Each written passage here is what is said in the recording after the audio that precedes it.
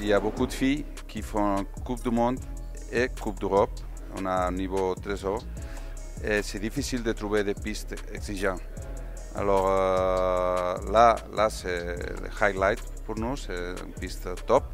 Et bien sûr, on part un peu plus en bas parce qu'il faut faire la différence entre la Coupe du Monde et la Coupe d'Europe. Sinon, c'était déjà la Coupe du Monde. Le fait d'utiliser la piste de Montana, c'est une piste de la, Coupe du Monde, c'est un avantage pour les filles parce qu'ils peuvent vraiment se mesurer euh, sur une vraie piste. Le fait qu'on parte un peu plus bas, c'est pas si grave, mais ça permet de faire des kilomètres. C'est vrai qu'il n'y a pas des, des, pistes qui met à disposition. Il y a Saint-Moritz, il ne faut pas oublier. Et puis, il y a aussi des pistes autrichiennes comme Sauchansee et Saint-Anton qui jouent le jeu. Et je pense que c'est le prochain pas qu'on doit, on doit faire pour monter le niveau des filles de la Coupe d'Europe à la Coupe du Monde. Dès qu'on a repris l'organisation des courses de Coupe du Monde, on s'est dit qu'on voulait ici à Grand Montana faire en sorte que les jeunes puissent découvrir nos deux pistes de compétition.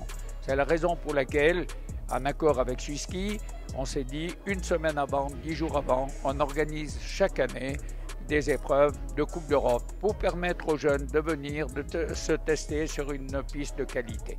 Et c'est ça, pour nous, la mise en valeur, la mise en évidence des jeunes, pour nous, était absolument importante et capitale.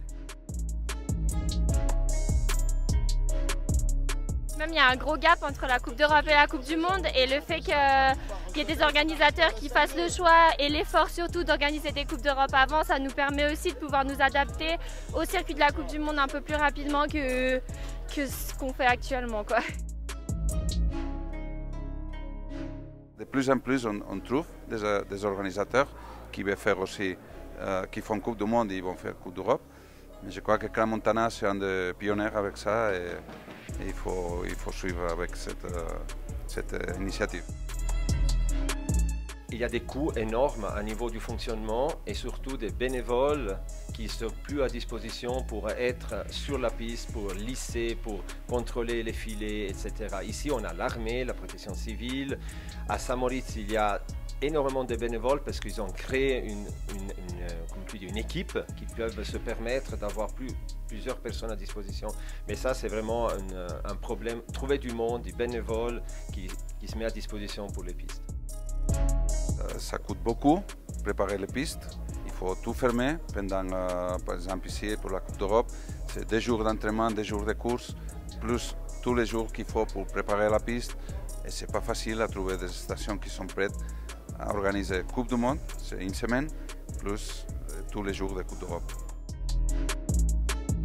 Le système que nous avons d'organiser une semaine et demie avant les Coupes du Monde, pour moi, c'est la meilleure des variantes. Parce que ça nous oblige à nous d'être quasiment prêts avec la piste, d'avoir une piste de qualité, de voir où on n'est pas bon, de corriger pour la Coupe du Monde. Honnêtement, si on devait recommencer, si je devais recommencer, je ne changerais absolument rien à cette formule-là, bien au contraire.